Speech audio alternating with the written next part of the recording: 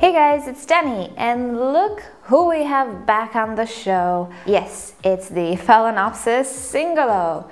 Now, for some of you, this might be quite the familiar face, while for others, maybe not so much. So let's talk a little bit about it.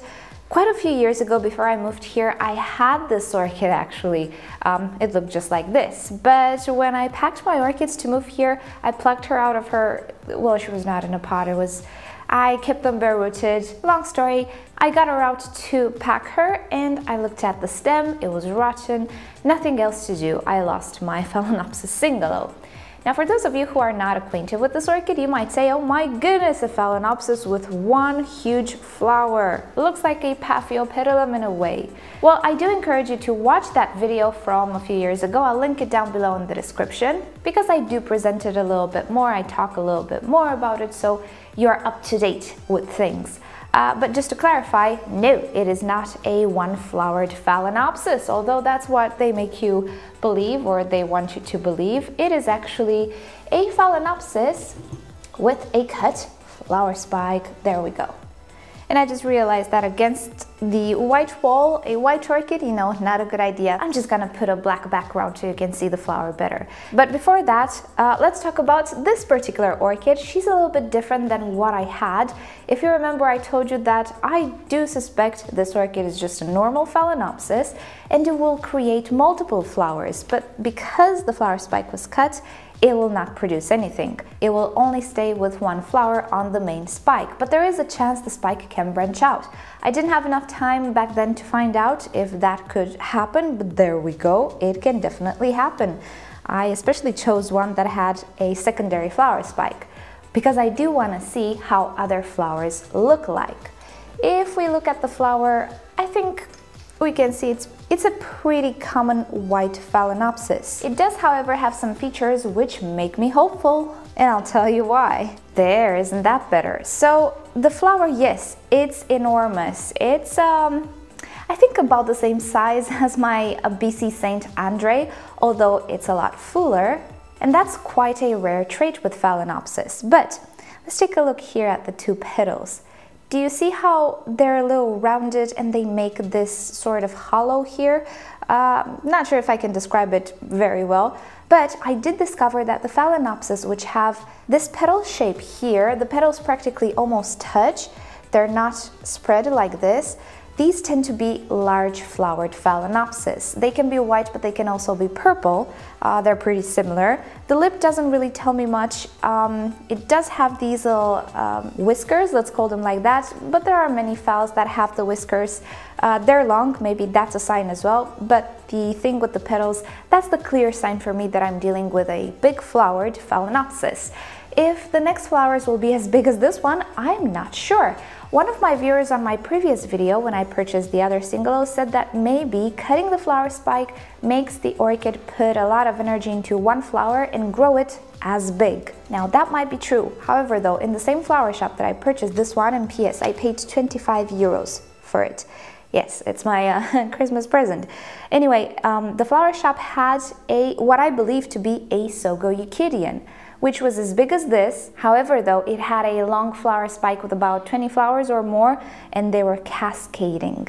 And I think you can start to see why I purchased this orchid. As I was telling you in my previous video, I have a funny feeling this is either a Sogo Yukidian, which I had, and let me just show you my, my uh, former Sogo Yukidian. There we go. It's a funny story with that orchid. I acquired it from somebody. Somebody actually gave it to me to take care of it while they move houses and they never got it back. And I had no idea what the orchid was, if it was white or any other color. And when it bloomed like that, I was in shock. Keep in mind, I identified that orchid. It didn't have a tag, but usually on the market, the Sogo Yukidians look like that. There might be other hybrids that can produce this wonderful cascade of flowers.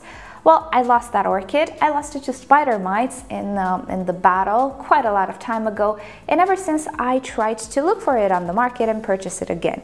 And it appears from time to time, whether it's the Sogo Yukidian or a different hybrid, very similar hybrid, they'll have those big flowers and cascading flower spikes. Problem is, they're very expensive. And in the flower shop yesterday, one of those orchids was 120 euros. Now, your girl doesn't pay that much for orchids. I love them, but just know, not saying there aren't people who purchase them, but you know, at least me, I don't have the budget for that. However, though, if I buy the Singolo, which just happens to be the very same hybrid, only a little messed up, and I'll tell you why it's messed up, and then let it grow and let it develop normally and obtain one of those things that costs 120 euros, then, you know, my little investment here of 25 euros might just be worth it. So why is this orchid messed up? Well, do we see something strange here? And in my previous one, in my previous video, it was even worse than this, and I suggest you do watch that video. Do we see how tiny kind of the orchid is in comparison to the bloom? Don't you feel it's a little weird and it's not supposed to be like that? Well, it isn't because I suspect this orchid is indeed a very big Phalaenopsis hybrid, one of those monster looking like, like the Sogo Yukidian actually. Also take a look at the roots. Let me give you a close-up though, the roots are absolutely fascinating. Do you see how thick the roots are? And let me just pull this orchid out. Ooh, do you see what's going on here? There we go. Do you feel that these are roots of mini phals or even medium-sized phals? No, they're roots of very big phalaenopsis. Then how come the leaves are so tiny? Except this one. This I, I feel like this one is a mistake. Well, um, I suspect, and many of my viewers suspected as well back then, that they use some inhibiting hormones.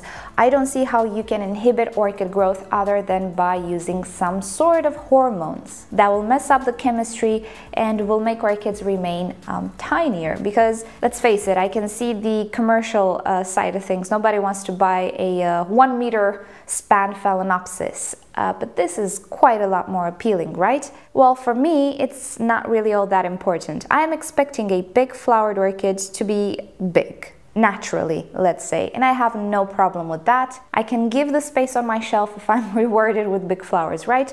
So for me, it doesn't really matter if it stays tiny or not. I bet you it will not stay tiny. Of course, I will not act with any type of hormones on it. I'll try to give it a good life and if I see big leaves then I know I'm doing good. So this will be a little monster in the future but what I'm hoping is that it will turn out to be like the Soga Sogo Yukidian. I'm curious to see how big the flowers will be on this flower spike. I'm honestly not expecting them to be as big as this one, but I really do hope they're kind of biggish, let's say. Other than that, uh, as you will see in my previous video, I am I don't agree with this whole thing. I don't know what the company says nowadays, but back then the company was bragging about their product that they received I don't know what type of awards. It was the very first one-flowered phalaenopsis. Everything was very misleading and making you believe that this indeed is a one-flower phalaenopsis and nothing more. When in fact, it's a lie. It's a cut flower spike. I can do this. Hmm. That's a good and interesting project idea. I'm gonna try to make my own Singolo. Uh, anyway, I believe that we can make this in our house. So, uh, you know, if they get prize for innovative design, that's a different thing, but I think they should specify it. It just left me with the impression that they were saying this is natural, kind of. This is how the orchid grows, one single flower. And I don't agree with misleading, and I don't agree with let's say misleading advertising. I'm an advertising person, actually, believe it or not. That's what I studied, and that's what I thought I would become a um, advertising creator. But no. Uh, so I don't agree with those practices. Actually, I agree with making smart campaigns, making appealing campaigns and, and stuff of the sorts, not misleading. And this, to me, is misleading. But as I was saying, I'm not sure what the company says nowadays. It's still called Singolo. And let's see what they say inside. Well, would you look at that? I feel like they changed a little bit their policy. So they say here it's a unique kind of Phalaenopsis. Nobody can dispute that. Every orchid is unique, right? Its extraordinary appearance with the blah, blah, blah, blah is designed only by Optifleur. Okay, I can agree with this. You designed it. Yes, I totally agree. So there we go. I am super excited. I really am happy to have found this once again. The price is big for what it is. It's a phal, but if it is what I think it is, the price is, uh, you know, it's a bargain. So we'll see next year what happens. I do intend to grow this one. I do hope that those hormones that were used do not affect the orchid way too much and it will start to grow, it will start to become the little monster that she's supposed to be. And uh, yeah, this time I'll make sure not to damage the axis or the crown. We're gonna have this girl and I'm gonna make updates and we're gonna have a good time. So thank you so much for watching. Hope you've enjoyed this. What do you think about the Singolo? Oh, do you have it? Did you buy it at the time? How did it develop? Did it create multiple flowers? Let me know down below in a comment. So alrighty guys, thank you so much for watching and you know the drill. If you've enjoyed this, give it a thumbs up. If you hated it, give it a thumbs down. Subscribe to my channel for regular orchid videos and don't forget to turn on notifications so you never miss a video. And with that said, I'll see you all next time. Bye! Good news, I think the Millennium Magic will open up in time for this year, but I ran into a problem. The flower spike got so heavy that it almost broke from the mother plant. So now I have to keep it on the shelf and uh, support the flower spike because it is so incredibly heavy. And it's weird, at the base it's actually thinner than here. That's not how you do it. Anyway, just look at that though. I I was holding back so much not to film this orchid and just show you when it's in bloom, but I cannot. Anyway, only 30% of you actually watch the outros, so there we go, that's okay. Uh, you have a sneak peek exclusively, let's say, over the other viewers. So there she is, my black orchid just opening up. She does look black, you guys. It's really dark purple, red, but it looks black, totally black. You, you cannot really tell. Look at this. On the inside, though, it's black. In reality, I don't see any red, any purple. No, this girl is black in real life. The the other side, you know, on the sepals and petals, that still has a little bit of a purpleness to it, but inside, it's just pure black. And I'm not sure how this camera can capture it. Let's see. That's amazing. And now I overexposed this image and it's really not like reality, so let's get it back. There we go, that's more like it. So amazing, uh, but more when she's in full bloom.